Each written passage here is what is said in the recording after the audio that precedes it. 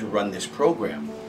Well, I've been in show business my whole life, so I figured it would be, you know, an, an automatic yes, which it was.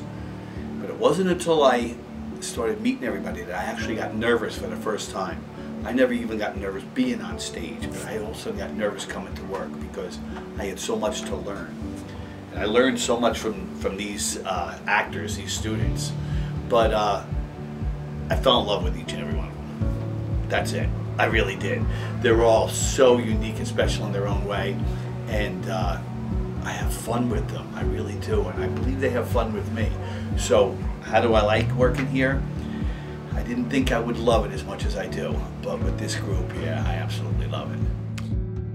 He always makes sure I know where all my parts are. He highlights it for me. We also work individually one-on-one. He's my voice teacher, so he makes sure I know how to hit all the notes.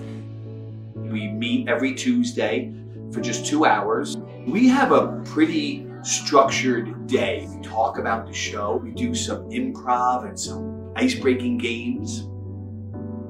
And then we start doing singing our songs.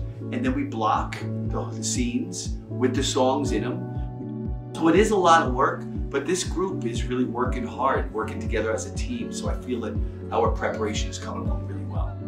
So the goal we plan to achieve with this and the results of it, I'm hoping are teamwork, confidence, poise, and the whole idea that as a team, we can reach these wonderful goals, which will be this amazing show.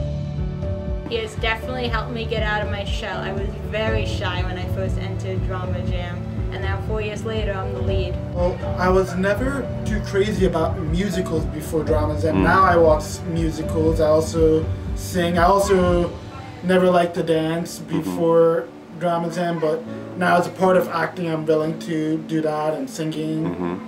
So I'm more into music now. Billy told me that um, a lot of the people that come alive, especially as a character like Zini, who I'm playing, and are very energetic or very quiet in real life. This is definitely the case with me because we come alive more on stage right, right. real life.